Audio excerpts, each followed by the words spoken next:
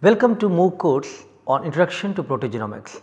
Today we are going to have a new speaker Dr. Ratna Thangudu.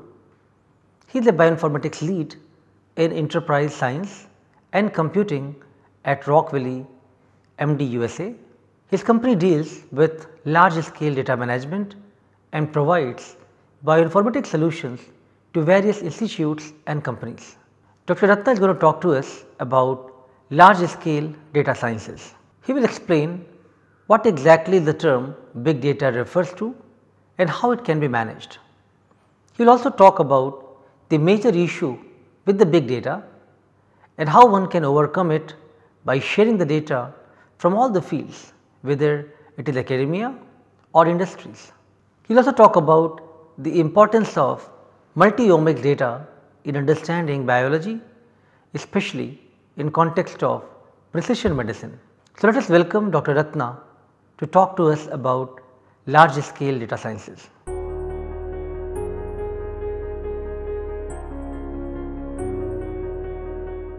Uh, my name is Rajesh Thangudu. Um, I am the bioinformatics lead for the company called Enterprise Science and Computing. So, we are located in Rockville, Maryland, uh, USA. So, we are kind of uh, 10 miles away from the National Institutes of Health. So, that is about 20 minutes drive.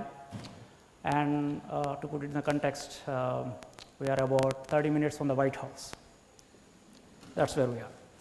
All right. So, uh, what are we doing actually as a company? So, we are into uh, large scale data management of, and provide bioinformatics solutions for uh, government clients, academics and also industry. And we work pretty closely with uh, National Cancer Institute. So, you heard a lot about the CPTAC program for the last few days. So, uh, we actually built and manage all of the resources that they were using. So, I will talk a little bit about that. So, uh, how many of you are actually aware of what is big data?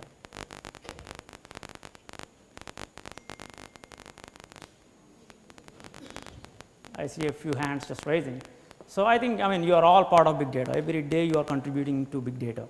So, I will start from there and try to fit that into uh, the perspective of big data in biology and what we are actually doing with the proteomics and how it how it is all going there. All right. So, say uh, the word basically big data means it's an extremely large data set that may be analyzed computationally to reveal patterns, trends and also associations which are not easily seen by our regular kind of day to day analysis. And uh, as the data, uh, the name it actually implies it's very large, that's understandable, that's big data. And then it's very dynamic, it keeps growing, it keeps changing. And it's very complex to actually uh, use any of your traditional data processing techniques. For example, take your Excel file. So, Excel can handle at the most 10 million rows, that is it. So, if it crosses that, what would you do? So, that is called big data. Anything that crosses the path that you cannot actually analyze with the tools that you have on your desktop, that is actually big data. So, with large amount of data, it offers a lot of statistical power and the complexity actually leads to some kind of false discovery rates, uh, but that is okay, but we are getting a lot of statistical power there.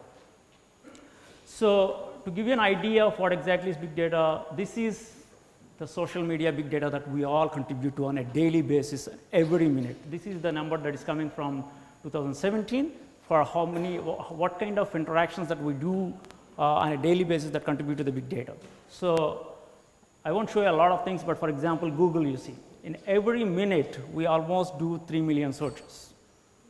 So, every search that you do is a data point. It's not necessarily data it's returning, but the search itself is a data point. Similarly, you watch a lot of YouTube videos. So, the amount of time you spend on YouTube, that's a data point. And the amount of video content that you upload, it's a data point. So, every interaction that we do on a day to day basis is a data point that actually contributes to the big data. All right. So, what is big data again? It certainly involves large quantities of data, but it has some characteristics everything if I give you some, uh, I say something like a big file, I say this is data, that is not big data, right. Just because the file is big, it is not big data. So, it has some characteristics, some features to it. So, this actually started off with describing volume that we just discussed and then there is velocity, how fast you can access it, how fast the data can actually move from point A to point B. So, for example, the video streaming, so Netflix, YouTube that you see and also the variety of the data. So, is it all the same kind of data? No, there is a lot of structured data, there is a lot of unstructured data. Structured data refers to basically anything the kind of interactions that you do, the airline ticketing system. So, the banking transactions, all of the e-commerce things you do, they are all kind of structured data. You know, I mean, which person is doing what at what time and what amount is spending, that's kind of structured. But what is unstructured? So, all the emails that you send every day, it's unstructured it's because it's all text. So, you cannot actually assign them to categorize them by words. So, that is just one example.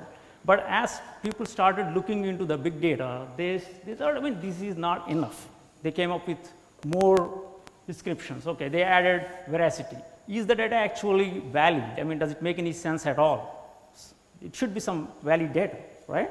So then the, some more people came and said, okay, let's add one more. What is that? It's called veracity. We did veracity, I think value.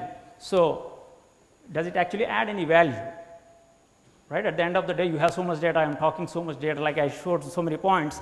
If that's all not generating money for the, the companies, Google or YouTube, it's of no value, right. So, it has to have value also. And then they added, I mean, people came up with more things that's like they said, after veracity, they said visualization. So, can we actually look at the data and say something about it? And then they have something called, which I am missing, viscosity. Does it stick? Is it with you? I mean, does it make any sense at the end of the day? So, all these things like what I am trying to say is basically big data is not just one big file that you have or a bunch of files that you have. It has to have some meaning attached to it when you analyze. All right. So, now I jump to big data and biology. So, we all know, I mean, next generation sequencing you are all aware of. We have been discussing for the last several days. Maybe you are all doing your own research on, in that area. So, biologists, we joined a big data club long time ago. I think I'd say the uh, advent of the uh, human genome about 10 years ago or 20 years ago. And then, uh, so there are many forms of data, right? Even when within the uh, biology, there is genomics, proteomics, molecular pathways, and there is one thing called healthcare. So, all the doctor visits that you do, it's recorded in electronic health records. So, it's pretty popular back in US and western world. Uh, I'm not very sure I mean probably the, uh, the new corporate hospitals they are actually doing it already. So, there is a lot of EMR data and uh, all the visits that you do, all the tracking, uh, the healthcare tracking devices that you use, Fitbit, it records a lot of data. So, it all, if you bring all of them together, it tells something about you, you are predisposing to or you a particular disease, right. So, it allows us to develop new tools, new techniques, new, new ways of understanding the data. So, just to give you an idea of where we are actually going with the data that we have. All right. So, this is 2000 that is around the first Sanger sequencing came. So, then the human genome project came and then we have TCGA we heard about that. So, that is about 10 uh, we have first 1000 genome project. That is about 1000 genomes. And then uh, we have TCGA that is about uh, 11,000 uh, patients data. So, then the exome sequencing came. That is about 68,000. Now, there is the Geisinger Institute back in US that does actually uh, 100,000 genomes. And now people are talking about uh, a million genome. And then there is the new uh, initiative started back in US, it is called All of Us. It is basically looking at almost uh, uh, a million and plus cases across the country. So, basically when we are adding data day by day, so, as, as per Moore's law it has to increase like this. So, every 2 years the data will double. But Illumina when they are who are actually uh, developing these uh, uh, NGS machines, they basically said, oh no, it will go like this. But actually if you see it is actually going at that rate, that is the projection. So, the exabytes of data. I think I convinced you about how much data is there. And coming back to the actual actual multi-omics data. So, it is not uh, the example I showed before in the earlier slide is just the genomic data I am talking about. But there are so many facets to the multi-omics data.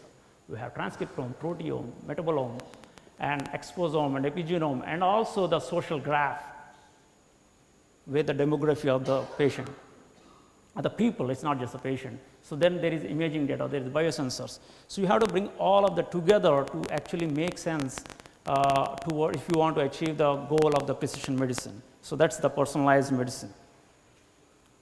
All right. So where is this all data coming from? So people are actually generating a lot of data. If people are not sharing it, it's not big data anymore, right? So you generate for 10,000 patients, your group generates the data and you keep it with you.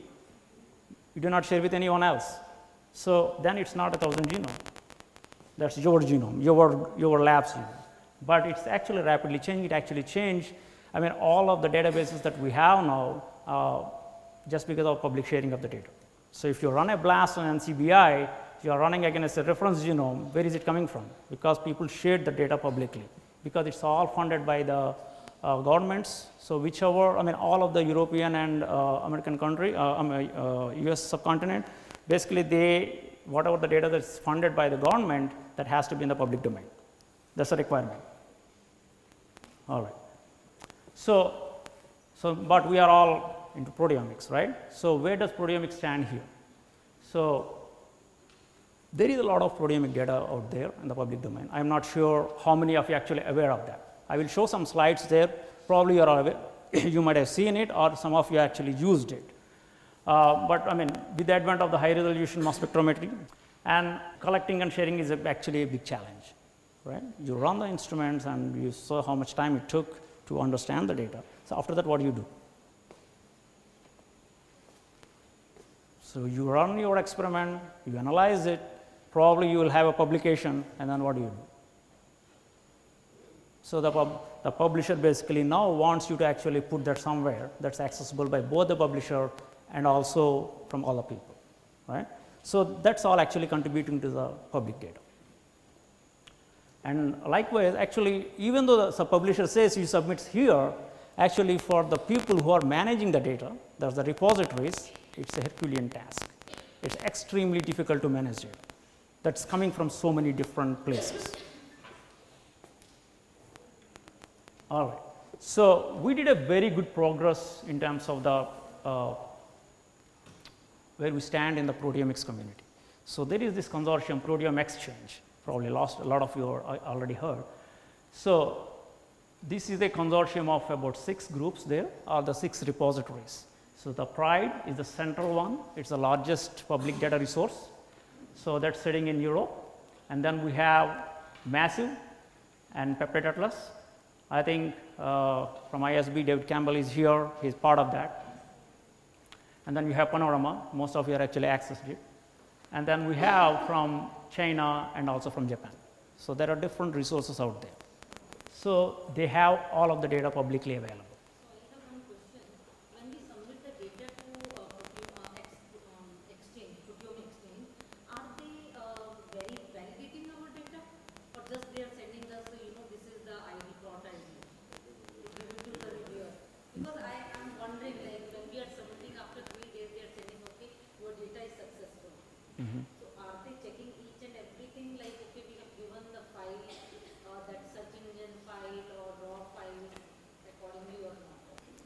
That's a very good question. Um, so I have a slide, next slide I will talk about that. Um, earlier, like when these resources started, they actually started taking your raw files and your results, right? So the people and their, so we don't know the format of it, so we don't know the validity of it. But now, um, let me go to the next slide. All right, so many data sets are coming from so many different places. Right? In 2016, there are about 4,000 data sets available there. That will show you the growth of the data. So they started with, okay, just take you whatever you have and also the results also. So just see here, it started in 2012 where we are and just is 2015. This, this is a dated slide. This is a 2015, it went to that level. And uh, as of few days back, I checked just a couple of days back, there are 10 species and there are about almost 7,000 data sets publicly available through the ProteomeXchange. It's not just from one resource, but all the six or seven resources I showed you. And um, I'll be, I'll be answering your question in a bit. So, uh, here is another list of uh, public databases that are there. So, uh, some already I already listed there and then some these are actually derived databases. These are the post-translational modifications. How do you capture? So, there are separate specialized databases out there.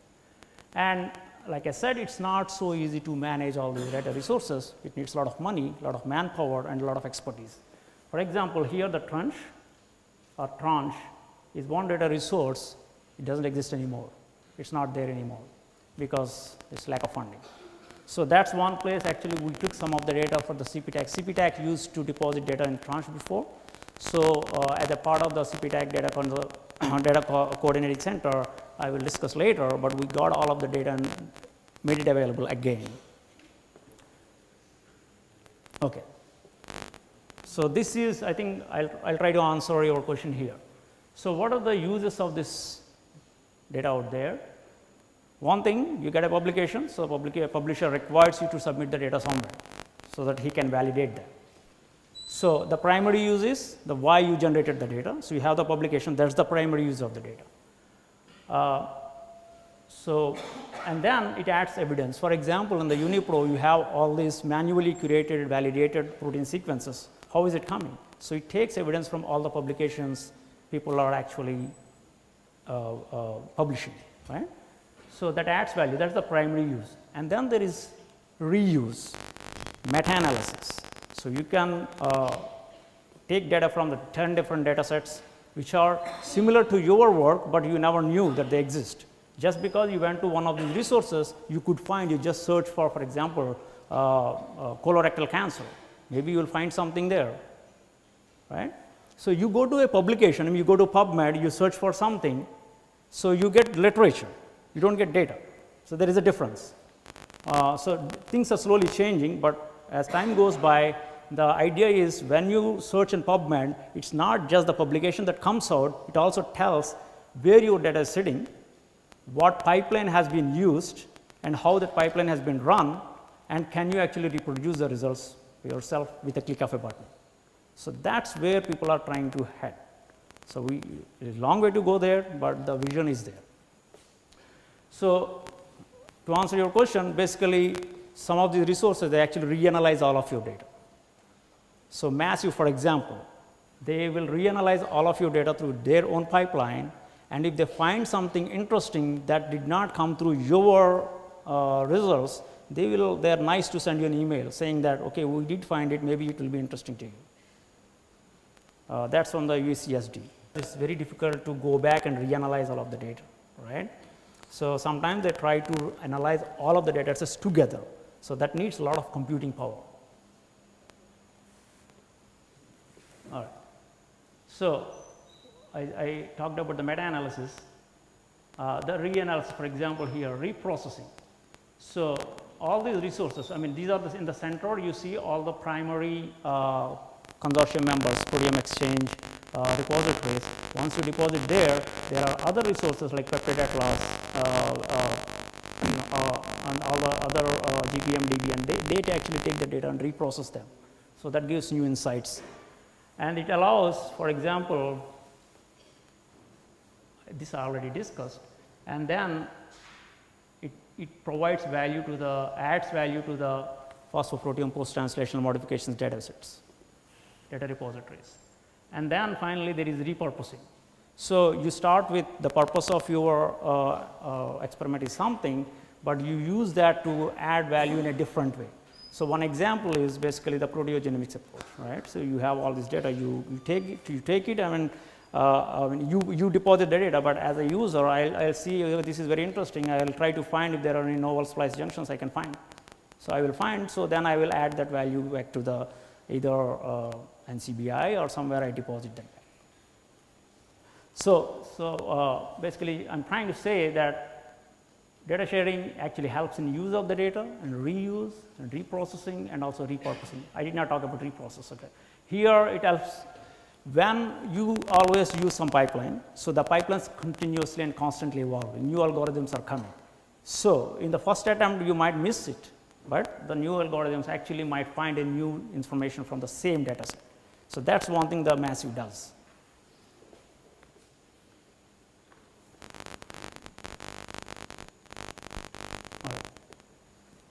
So, we talked about, I mean everybody is generating data, depositing there, I, I showed almost 6000 data sets there.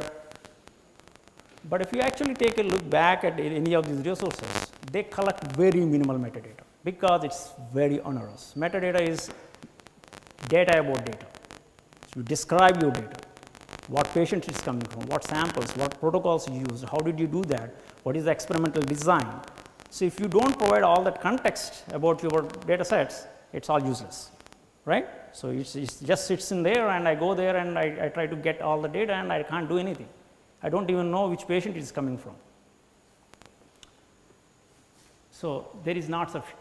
The problem here is always the data submission making available making them available in the public domain it starts after you end your research goal right. So, you finish your research objective you achieve that and then you go there because somebody else tells you okay the journal says you have to deposit somewhere. So, that is like a burden for a lot of people right.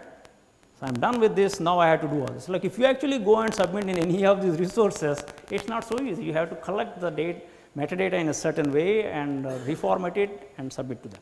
So, then they validate if there is something missing they will come back to you and ask okay this is missing we cannot actually support unless you provide this. So, the amount of metadata that they require actually they try to shrink it because it's, it's becoming burden and people will stop submitting. So, we want the data to come. So, let's I mean send, give us the minimal metadata and we will just keep it there and see how we can process it. So, that is not really helping. And then there is shortage, of expertise. So, as the data set is growing, so many data sets, so much volume. So, we need expert people to handle that. So, now the expert is limited to the resources like PRIDE and Peptide Atlas and all these. Uh, and then lack of adoption of standards. I will talk a lot more about the standards in a little later, uh, but standards is how do you represent your data. So, are you using any of the existing controlled vocabularies to define what it is? So, you are saying TMT and somebody says uh, uh, capital letters or small letters. That is a very basic example I am giving, but if you actually go into the clinical data side, the same disease breast cancer there are so many subtypes. If you just say breast cancer it does not help, you have to tell exactly what it is. So, there are standards to help you do that, but when you submit you have to do that actually. All right. So, I talked a lot about what is already there. I did not talk anything about the CPTAC, right. CPTAC produces a lot of data. Um, so, that is the consortium. We are part of it. We develop the, we manage the data coordinating center and we also uh, uh, distribute all of the data. So, we started pretty low. So, uh, the CPTAC2 program, three cancer types, breast, colon and uh, ovarian, about 600 patients. So, they started off with uh, some TCGA samples which are already there, okay, there are genomics data is already existing. So, why do not we take them some 100 samples from each of these patients and reanalyze with proteomics and try to combine. So, uh, it is a phase 1, after that they realize okay, these samples are not optimized for proteomics. So, we need to collect more. So, then they collected 300 more for each of those cancer types.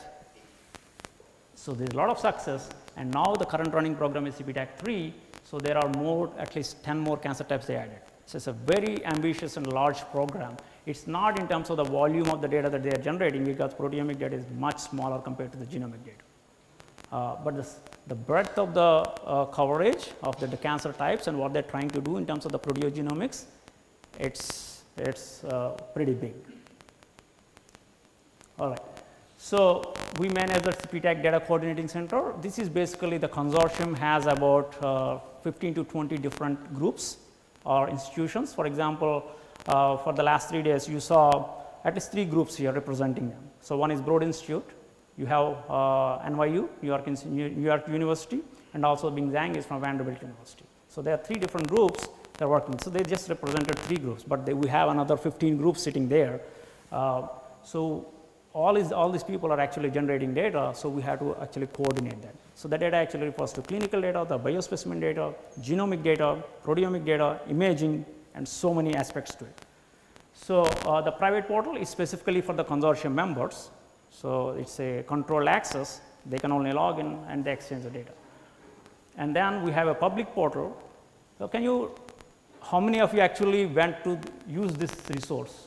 So, the idea is uh, I, I, really encourage you to go to that resource. So, I mean the purpose of this talk is basically to introduce you to all these resources. There is so much data is already there. Start taking a look and you do not have to generate anything. There is already some so much is sitting there just to try. You do not even have to have a new discovery, just to try.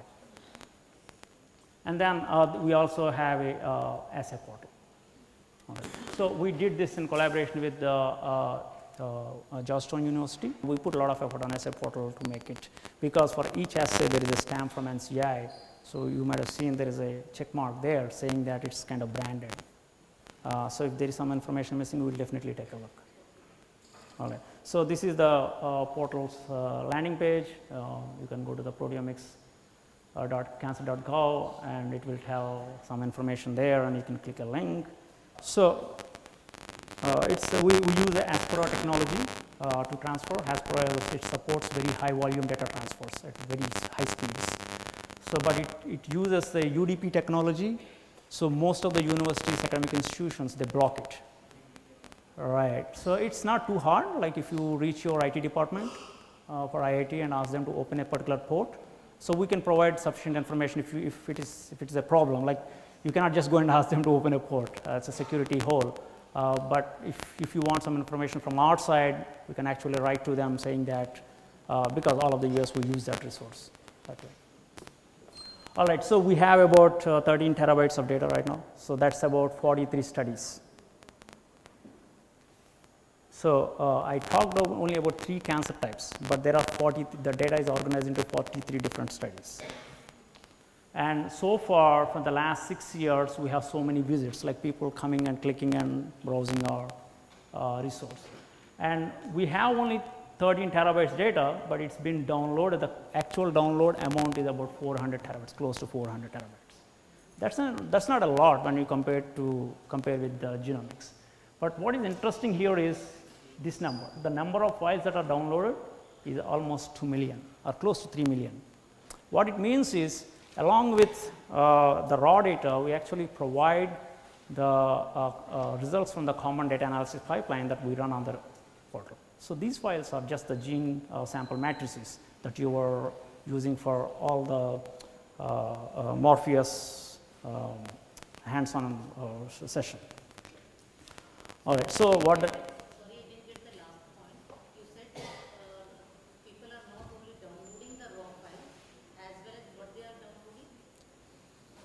uh, I will just come there. Basically for, for each study, we run a common data analysis pipeline. So, that generates the result files. These are the summary reports, the protein parsimony results, the identified peptides, identified proteins at a certain uh, uh, threshold. So, most people probably want those files, they do not need raw files. So, if you download raw files, it is not helping you if, unless you have a Uh, uh, established pipeline and resources to actually analyze, reanalyze the data. So, what I am trying to say here is basically just the volume of the downloads you see, it is basically a lot of people are actually interested in the result files. That is what you want. You do not just go there and you see, oh, there is a lot of data I have to download. It is always there, you do not have to worry about it, it is not going anywhere and you do not have to actually download if you do not want to. You just go through the results and use that information. All right. So, this is just uh, trying to show how many people actually access the data from throughout the world and I see very few dots from here, but I think that will increase when I, when I go back home I think I will see a lot of dots.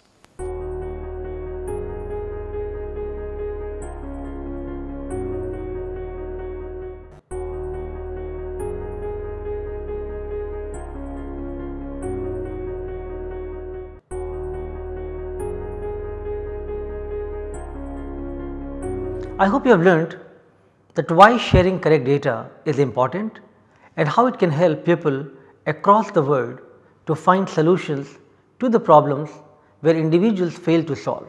You got a glimpse of how contributing to big data also helps in obtaining the reproducible data sets which could help in finding the most reliable candidates or even potential biomarkers for various data sets from different studies. I hope you have also learned about ProteomeXchange and its evolution in terms of data with time. Hence, one should emphasize further on sharing the correct data with society.